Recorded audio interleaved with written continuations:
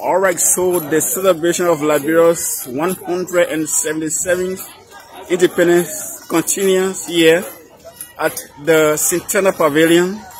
And of course, uh, culturally, Liberians are exercising the God gave idea given to them. I see a young man doing something that is so, so uniquely done. I don't know what is that. I'm going to be asking a few questions to tell me what is it and then why you doing it the way you doing it. Uh, so my brother, uh, good morning, welcome. How you doing? Okay. My name is Springs. Uh, what is your name? Vanikane. Vani Kane. Uh, Mr. Kane, uh, how is the celebration today? I see you here doing something important, but, but before we get to that one, let's talk about this day, 2060. How, how it looks today? Well, the day is not bad, except that it is too rainy. Uh, yes, it's a rainy day. Uh, Okay, so tell me, what are you doing here? I see you doing the things. homemade country club. You are doing homemade country club. Wow.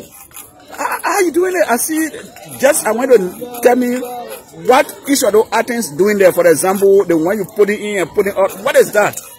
This one is a thread, is a weaving regulator. Okay, the This weaving. one is a divider. This one is one we use to compact the thread. Wow.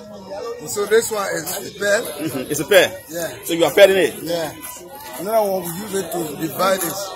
This one is a folder. We fold it close. The weave one on it. So, so how did you learn this thing? Uh, this thing I I want to get a little history. Age old. is eight old. How long you been doing it? From grade school. When I was in grade school? Grade Wow. school. So how did you learn it? How it came about? Well, if you have to trace the origin of weaving, mm-hmm. you can go as far back as the beginning of man, when it became necessary for man mm. to have cloth on. Right? Mm. Originally, we have the original thread, we call cotton thread, mm-hmm. which is there, okay, there, we mm-hmm. produce it. That's why it's years now. Don't get that. So when it became necessary, when man became man, started to be dressed up. You know, we are born naked. So when the requirement came, there was a stage, there were various stages of man growth, as you know it. God, stone age, iron age, later age, etc. etc. So at the time man became man, or homo sapiens sapiens, where he decided to walk, his hands became useful. So he decided to plant mats first, lie on. And later, decided to develop this through cutting. Through cutting. cutting. The one from the bush? People were, people were on their way going to do, perform ceremony. You know, our people used to, some of them, our ancestors used to go to the mountain to worship. Some worship trees, some worship mountains, some worship rivers. Of course, their method of worship was, was unique to them. But in fact, in those days, you had to be more godly than ought to be. You have different, different beliefs. So when were going, when I cutting tree, sat down, we sat down, it's not in the breathing.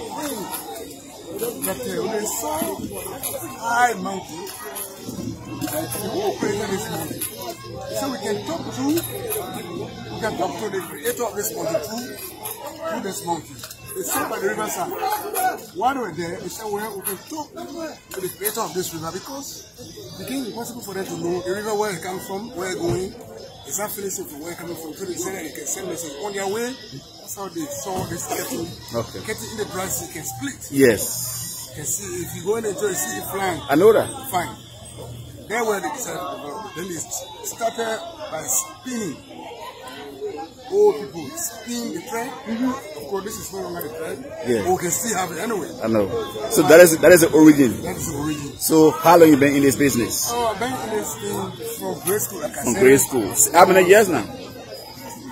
Uh, Maybe 30? it's about 30 years. 30 years old. Yes. And, and what, what, how does it, this work contribute to your well-being? Like, Uh, yeah. is, is it something that is, is, is a. Greatly. You bring to my well-being. Each of this for today, mm-hmm. the one you see down there mm-hmm. there, is two of these shares of wood. okay. The raw material that we sell, 30 dollars. That's for the raw The material. raw material, yeah. 30 US dollars. Yes. So the shirt that I see on you here, so if you prepare shirt like this, how much do you sell it? It's fifty dollars for this. When it's fixed like this. Fifty US dollars. Yes. And they buy it from you. Yeah, I know. Like it is. Uh-huh. I know that this is a raw material, and this is a finished product on you. Wow. So, uh, I mean, what do your customers tell you when they buy a shirt from you? So we have is our agreement with the tailor. Okay. But they feel that weaving, these are two professions. Weaving is different from tailor. Or no one come, buy the will see it, they will appear like So it's, it's, it's, so it's a challenge for you it's a challenge. that the tailors will buy a raw material. Even the weaving, this is a cap that was first on. Now if you go down a little, you will see tailors wearing it, appearing like they are weaver, and they are not weaver. There's a difference between weaving There's a difference between weaving and tailoring.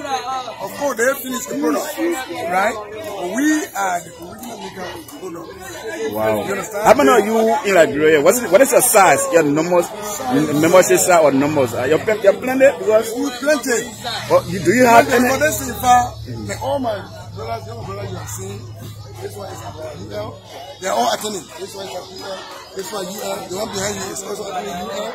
Oh, wow. And through this process, you are asking what is the economic value of into us. Yeah. You can, it cannot be measured easily because, like for me, uh, from grade school, like I told you, I went to school, completed high school, went to college, LU, completed LU. I have a Bachelor of Art degree in sociology and development. Well, I believe that culture, if you, a system without culture, obviously will not. But it's like a cup of tea without sugar. What what is That your why we decided to, to, to maintain this culture so that although there are spinach, there are weaving industry and everything, but there is an origin of it. What finally, sir, as I take leave of you, what is your what is your plan? Uh, uh, having a team, uh, have a structure, maybe leadership, organizational structure, where you will take your grievances, like you're saying, the challenge you face with the tailor. Well, the tailor got their own job to do too, and you got your own to do. So, what you think can be done that this will be kind of institutionalized, and, and you know, and have a kind of structure? we are looking at to approve and support, but we have National Weavers and Cotton Farmers Association of Liberia. Okay. I'm the National Secretary, hmm. Oh wow. right? That is from, I mean, about seven or eight years. I mean, early time. Okay. We put that up, we have that organization, but we are left with accreditation. So Okay. can start implementation. Our intention, our dreams are, basically, like when you ask me, I will tell you I'm from Lofa. Normally they that Lofa close. We are not expecting, we're not just from Lofa. This is from Liberia. And so we really have the intention of extending this thing down to the other countries so that we can also benefit. You know? But because we are overlooking this, you see dress code how people dress code is apparent today because we feel that we can ignore our own culture and go ahead with another man's own culture. So that is why you see even the idea of the, the, the, the rate of rape can be increasing because people are half naked passing.